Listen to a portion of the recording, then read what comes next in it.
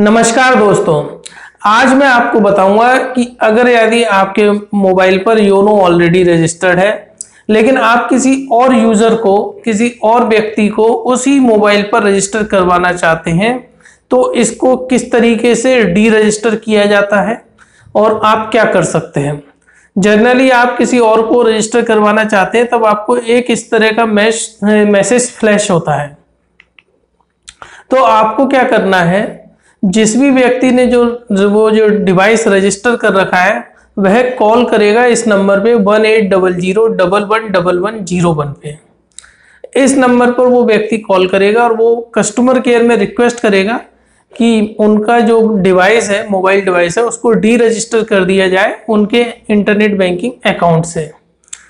तब customer request उसकी ले ली जाएगी और कुछ मिनट बाद या कुछ घंटों बाद उसका डिवाइस डी रजिस्टर हो जाएगा और फिर वो अपने अपने उसमें यानी कि किसी और यूज़र को रजिस्टर करवा सकता है। तो आइए हम इसका एक डेमो भी देख लेते हैं। एक डेमो वीडियो की किस तरीके से मैंने कॉल किया और अपने डिवाइस को डी रजिस्टर करवाया। योनो के संपर्क केंद्र में आपका स्वागत है। Welcome to YONO helpline for English press one Hindi के लिए लॉगिन संबंधित जानकारी के लिए एक दबाएँ। उत्पाद और सुविधाओं के लिए दो दबाएँ। अपने सुझावों और शिकायतों के लिए तीन दबाएँ। एटीएम कार्ड से संबंधित सेवाओं के लिए चार दबाएँ। अपने मोबाइल को डी रजिस्टर करने के लिए पाँच दबाएँ। आपकी गुप्त जानकारी जैसे कि एम पिन पासवर्ड और ओटीपी किसी के साथ ना बांटें। बैंक अधिकारियों के साथ भी नहीं। नमस्कार। हमारे सभी अधिकारी व्यस्त हैं। आपका अपेक्षित प्रतीक्षा समय ढाई मिनट से अधिक है। चौबीस नमस्कार एस बी ओना हेल्पलाइन में आपका स्वागत है। मैं रजत आपकी क्या कर सकता हूँ? हेलो। जी।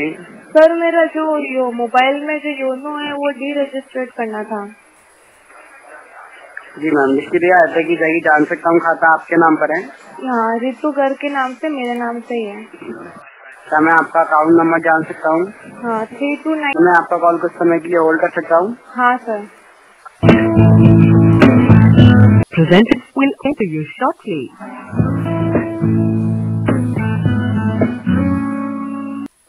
Line पर रहने धन्यवाद मैम हाँ हाँ सर जी लाइन तो बने रही है मैम। जानकारी चेक की जा रही है। हाँ सर खाते सुरक्षा के लिए पूरा नाम जान सकता हूँ मैं आपका। हाँ रितु गर्ग नाम है मेरा। जी क्या मैं आपका रजिस्टर मोबाइल नंबर जान सकता हूँ? हम्म।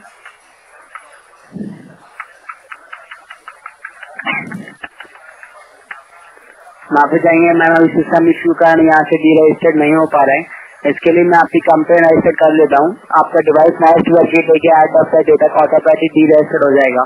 क्या मैं आपका कंप्लेन रजिस्टर कर लूँ कितने टाइम में हो जाएगा सर नेक्स्ट वर्किंग डे के एंड ऑफ़ द डे तक ठीक है। जी सुन पा रहे हैं? हाँ सर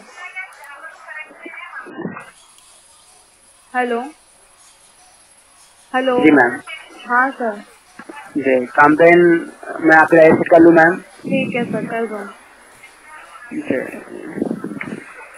लाइन पे बने रही है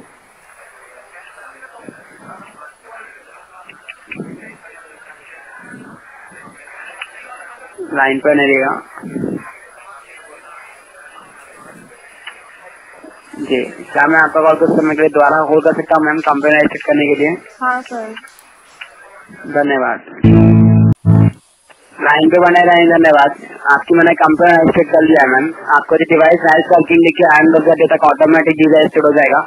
कंप्लेन नंबर आपके रजिस्टर मोबाइल नंबर पर साइन कर देगा। इसके अलावा कोई और सहायता है इस संबंधित? नहीं सर थैंक यू जी मैम